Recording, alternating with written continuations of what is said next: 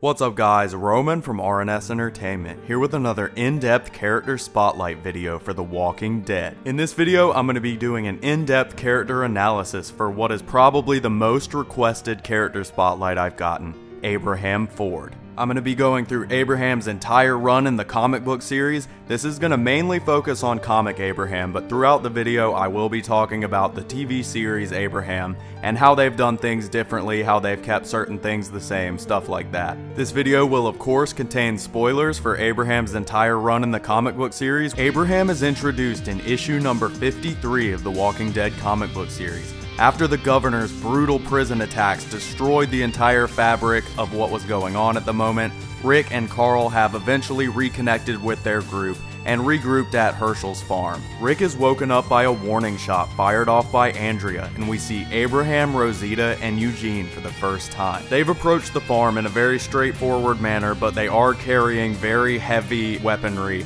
and after the governor, nobody's taking any chances. Andrea and Rick keep them at gunpoint until two zombies stumble into Hershel's farm. Glenn panics and reaches for Abraham's gun. Abraham tells him to back up and he easily dispatches the two zombies by himself. This is the first time we see Abraham fight, and that's something that becomes very common during his run in the comic books. He's one of the most dangerous people that they have, and after Tyrese was beheaded by the governor, they've had a severe power vacuum in the role of right hand man to Rick. If you've watched my character spotlight on Tyrese, you know that he was a lot more important of a character in the comic books than he was in the TV series. He was Rick's best friend, his right hand man, and the surrogate leader when Rick wasn't able to be. Right after Shane died in the comics, Tyrese was introduced as this strong secondary hero figure to Rick. That's what's happening here with Abraham. It's right after Tyrese died in the comic book series. That role in the group has to be filled,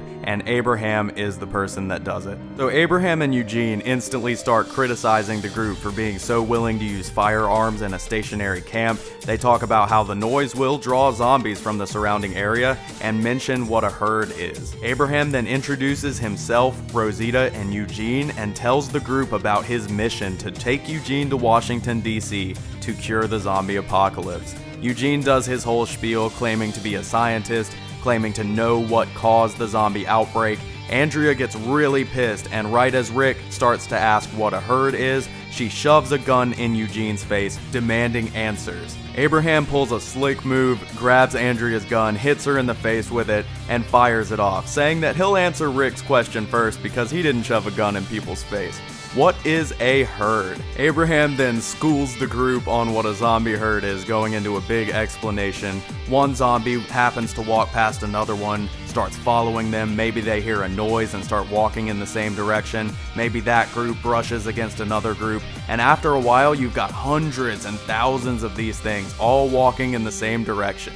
They're walking because everyone else is walking, and everyone else is walking because they're walking. They're stupid as fuck. These things have almost become zombie storms in a way. They're kind of a force of nature. They just exist in the world now. It's a natural progression of what happens with zombies. Next, he gets to Andrea's question as to what's going on with the zombie apocalypse to Eugene. He calls her Little Miss Death Threat, which is funny. And basically, it's classified. Yeah, Eugene hasn't told Abraham what's going on, hasn't told Rosita what's going on, but they do believe him because he's proven several times to be a lot smarter than them. He knows how to make things, he knows how to use basic scientific principles to create useful things or to treat injuries or things like that. So he's basically proven himself to be smart enough that Abraham considers his story viable. This is also where we get one of Abraham's more memorable lines from his early appearance in the comic book series. The thing about smart motherfuckers is that sometimes they sound like crazy motherfuckers to stupid motherfuckers.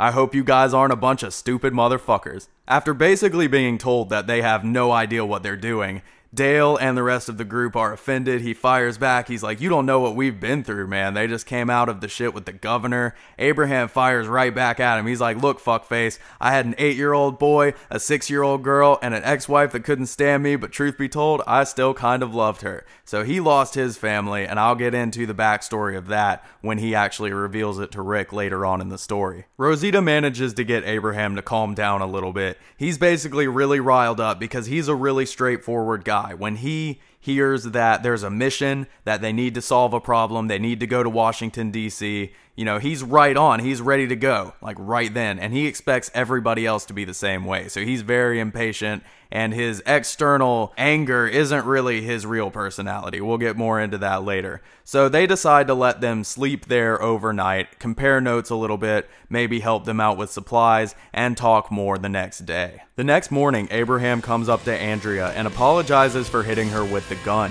Andrea asks what his deal is, and he explains the basic idea that when he was broken down, when his life no longer had meaning, Eugene came along and gave him a purpose, presented him a problem that he could help solve. Their conversation is interrupted by multiple zombies approaching them. Abraham picks up a pitchfork, tells Andrea to get the rest of the group, and goes to work. This fight is ridiculous. He is just destroying these zombies. This is the kind of thing that we haven't seen since Tyrese's epic scene with the hammer in the gym of the prison. I mean, if you haven't seen my Tyrese character spotlight, or if you haven't read the Walking Dead comic book series, I really suggest you go take that video out. This is the kind of thing that Tyrese did a lot, just ridiculous feats of awesomeness killing zombies. So he's just hacking these things to pieces with the pitchfork and the knife and his bare hands and his boots. The rest of the group shows back up, and Abraham's like, No, I got this. Because this isn't just a fight, this is a demonstration. Now that he's gotten the group's attention, he starts to make his point. This is just the beginning. He's like, Remember when you get lost in the woods back in the normal world and they tell you to stay in one place so that people can find you? Well, now being found is dangerous. You get found by a big enough herd of zombies and they'll rip through your entire camp like a tornado, like a tsunami. You'll never be able to defend against it. You get found by enough people, you know, who want your place. If your place is good enough, you're fucking done. And we get to see Rick and Dale talking about this later. Dale definitely agrees with Abraham. He's like, he makes a good argument. And Rick agrees too. Rick doesn't want to make any of the decisions right now. So they end up all deciding to pack up and go with Abraham. They load up into the truck and get on the road to DC. At this point, Maggie's mental state has been deteriorating after the loss of her entire family. She attempts to kill herself by hanging herself on a tree. Abraham is one of the people that helps get her down. And when Glenn is knelt over her asking what to do, Abraham tells him, You know what you have to do. And he wants to go ahead and kill Maggie before she reanimates. He sees it as she's already gone. You know, don't take any time, just do it. This is when Abraham and Glenn have their fight in the comics. They had a version of this in the show at a very different juncture, but, you know, it's definitely central to their characters. Glenn is one of the people that Abraham interacts with the most. They have their up and down moments. You know, right now is obviously the worst of it, but they definitely become friends and interact a lot throughout the entire series. Rick puts a gun to Abraham's head. This is the beginning of a long confrontation between them. Uh, he basically has a standoff with Abraham, and Maggie has enough time to wake back up. She was not dead you know, and Glenn is just like freaking out because Abraham had just tried to kill her. Abraham knows he was wrong, but later on approaches Rick, tells him if he ever puts a gun to his head again, he'll fucking kill him. Rick tells him next time you make me put a gun to your head, I will fucking kill you, asshole, and walks off. Later on, Rick is entangled with a zombie, and Abraham has the zombie in his sights, but waits a minute just to kind of make a point. And after he kills it, says, You should be more careful, friend. It's dangerous out here with his straight up, I do not give a fuck look on his face. This is kind of a struggle back and forth with Rick. They're kind of just butting heads. You know, their testosterone is high and their leadership qualities are high, and they're kind of clashing with each other. Later on, Rosita comes up to Abraham, and this is the first time we get a real hint that Abraham's machismo is largely an act. He's a lot more sensitive than he lets on. Underneath it all, he's really just a big softy. He's worried that maybe he was pointing the gun at Rick instead of the zombie. He's worried about maybe killing another human being. And he's definitely referring to what he did to the people who raped and endangered his family. Rosita tells him that it's not his fault. He didn't have a choice in that situation. And we really get to see how meaningful she is to him. There's a lot of complicated stuff that goes on in their relationship in the future, but Rosita is the best. She is his rock. She's there for him. She's his center. And she keeps him going. She understands Abraham in a way that nobody else in the entire group ever does and for a long time, he really needs her. When Abraham and Rick are discussing which direction to take to go to Washington, D.C., Rick wants to stop by the town he was from, to go to the police station and take all of the guns out of the armory. You remember in season one, I think episode one, Rick and Morgan did that in the show. In the comics, they never went by the police station, and this is when that finally happens. Abraham again takes it upon himself to make the call, declares that the group is going to set up camp right here for the night, and that Rick, himself, and Carl are going to travel by themselves up to the police station. When they find a place to camp for the night, Abraham is taking second watch, Rick and Carl are asleep, and they are approached by the Marauders. We saw the Marauders in the show, and they had kind of a longer history with Rick. He was in that house with them, and then they approached him in the forest. They had that whole thing with Daryl, Michonne, all of that. But in the comics, it was just Rick, Abraham, and Carl during this scene. Abraham immediately has a gun pushed up in his face, and he calmly turns to the guy holding it and says he's going to kill every goddamn one of them. Rick fights back, and after getting beat down, watches as the Marauders hold Carl down and threaten to rape him. This is kind of an extreme level of darkness for the comic books. I mean, this scene was fucked up. We had so much horrible shit go on with the governor, but I mean, with involving a kid into that kind of stuff, this was so fucking dark. This was actually one of the scenes in the show that played out almost exactly the same as the comics, other than the fact that Abraham being there was replaced with Daryl and Michonne. When Rick gets wrapped up by that guy, he's only got one hand, so it makes a lot more sense that the guy just kind of wraps him up in a bear hug. Rick just leans in and rips the guy's throat out with his teeth in one of the most brutal moments of the entire comic book series from start to finish. This is all Abraham needs. He shoves his assault rifle into the guy's face and blows his fucking head off. Tells the third guy to let Carl go. Rick, now with blood all over his face, says that he's mine and chases the pleading marauder down before completely eviscerating him with his knife as Carl watches. The next morning, Rick and Abraham are sitting there with Carl asleep in Rick's lap in front of their car. A similar scene happened in the show between Rick and Daryl, but this conversation is a lot more meaningful, and really without it in the show, left us without any kind of deep connection between Abraham and Rick. This is the point where Abraham breaks down and cries in front of Rick and tells him how he lost his family. When everything started, Abraham found his ex wife and his children, and they banded together with a group of survivors that stayed together in a grocery store. One day, when Abraham was out on a supply run, the group raped his wife and daughter and forced his young son to watch. When Abraham came back, he ripped these people apart like an animal, took body parts from them, just eviscerated the hell out of them, really similarly to a lot of the things Rick is forced to do. The things he did scared his family enough that they left in the middle of the night. The next morning, Abraham woke up and found them outside eaten by zombies. He ended up having to put his daughter down. Rick tells Abraham about killing Dexter in cold blood and taking out Martinez and beating him to death during the governor arc they really connect over this. I mean, these are the things that you have to do. I've done a whole video on this topic called Why Shane Was Right in the TV series and Why Rick is Right as well once he gets to that point. Abraham and him really connect over doing whatever it takes to keep themselves and their family and the people around them alive. Carl ends up waking up as well and joining into this conversation, talking about the moment he shot Shane in the neck. See, in the comic books, Carl shot Shane when he was still alive, when he was about to attack Rick, and Rick came back later and killed him as a zombie. Carl tells Rick that last night when Rick eviscerated the Marauder that he wanted Rick to do it, that he looked and that he wanted to help. You know, this is a really dark moment where Rick realizes how much trauma his son's actually gone through, and this is a big moment that shapes Carl's character for the rest of the storyline as well. So after this horrible ordeal with the Marauders, Rick, Abraham, and Carl press on and go back to Rick's old neighborhood where he is knocked out by a shovel, similarly to how he was in the very first issue. The first thing Rick thinks is that Duane maybe hit him again without recognizing him, but this time it's Morgan standing over him with a ripped shirt, longer hair, and a beard and a crazed look on his face. Abraham pulls a gun out, tells him to calm down, and Morgan stands down as he realizes who this is. Morgan takes Rick into the house, and we find out that Morgan has been keeping his zombified son chained up inside the house, and he's been killing and feeding travelers to the undead Duane. This is so fucked up, and Rick just wants to help Morgan. He gives him the gun, tells him to kill the zombified version of his son, that he's not alive. He goes outside with Abraham, tells him that Morgan is coming along with them.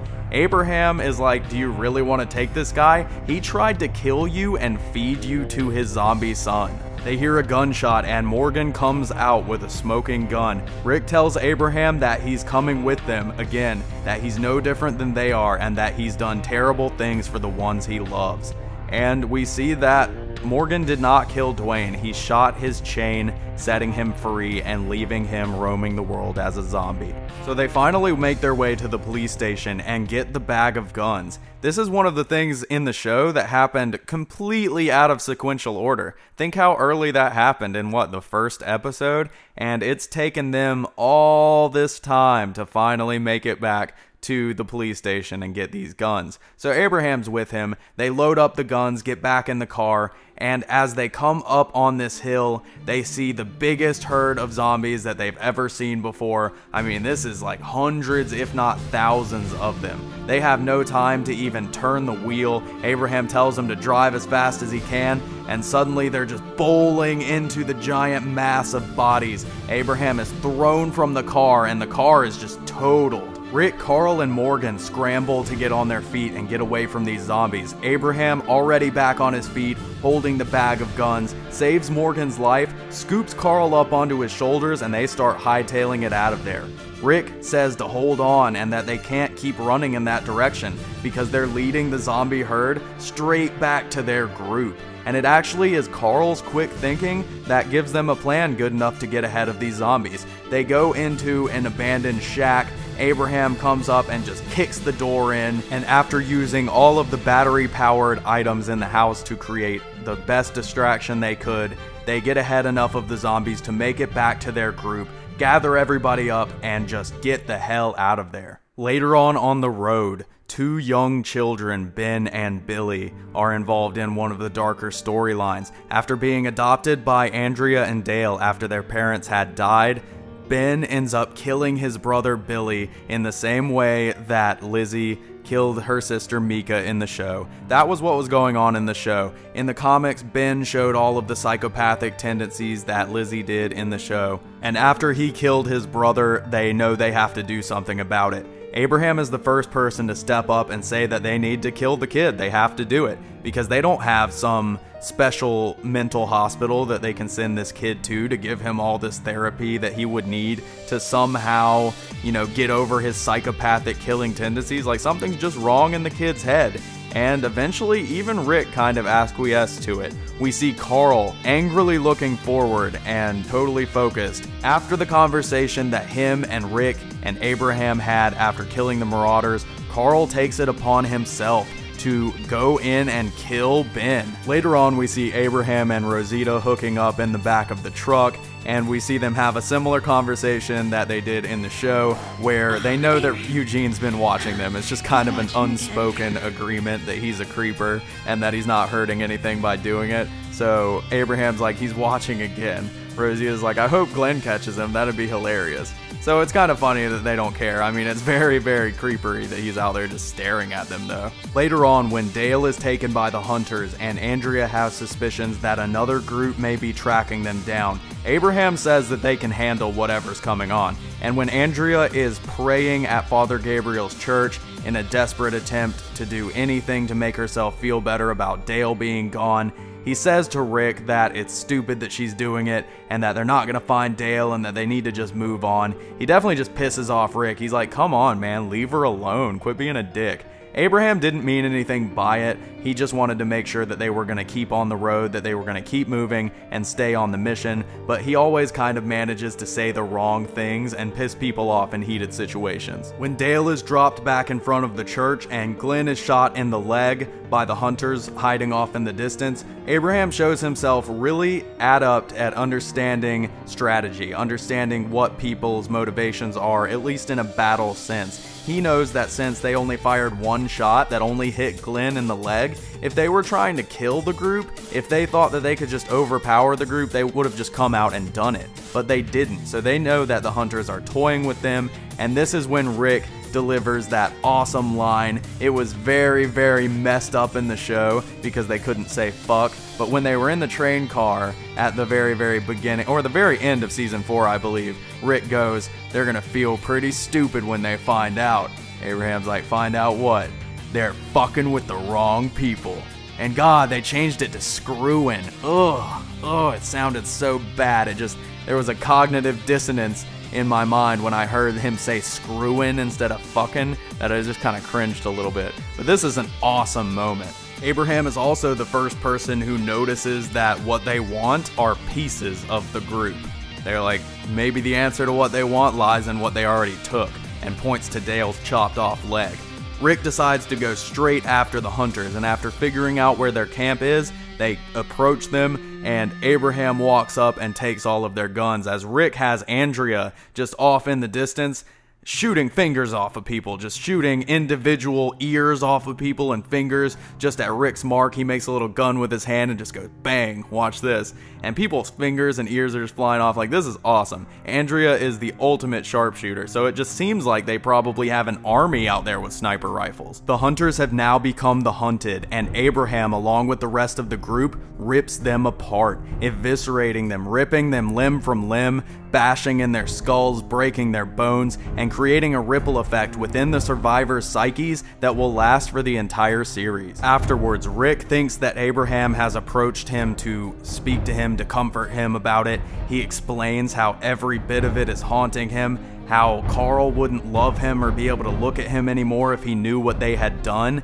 and then he realizes that it's not Abraham behind him, but Carl who is breaking down into tears and tells Rick that he killed Ben. Rick, broken down by the knowledge of what his son has had to go through, listens as Carl tells him that it was because of the conversation that Abraham and him had after the Marauders. Carl agreed with everything they said. He knew that Ben was dangerous and that he wasn't going to tell anybody about it. He was going to take that burden on himself because he knew that none of the adults could kill a kid.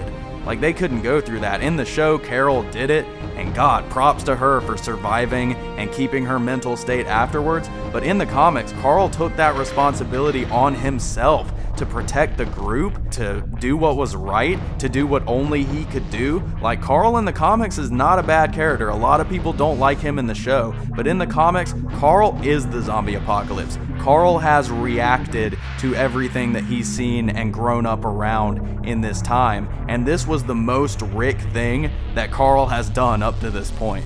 Carl tells Rick that he's strong enough to go on with the knowledge that he killed Ben and that he just wants Rick to know that he loves him because of what Rick does to keep everybody safe. He knows why Rick does what he does. He agrees with it. He wants to be part of it, to protect the weak, to protect their group and their family, and to survive together. So it may seem weird that I'm finishing up part one of my Abraham character spotlight talking about Carl and Rick, but Abraham was instrumental in this point in Carl's development, and people like him, people like Shane in the TV series, people like Rick, are the people that are necessary for other people to survive. They're the people that are going to come out on top and protect the ones they care about at all costs. So I think that's really important to Abraham's character as well. That's something he brings to the series, and this is a good stopping point because Abraham goes on far longer in the comic book series. He's got so many big moments, and really all of the best parts of his character have yet to come. So seeing as this video is already as long as my Tyrese character spotlight and my Axel character spotlight,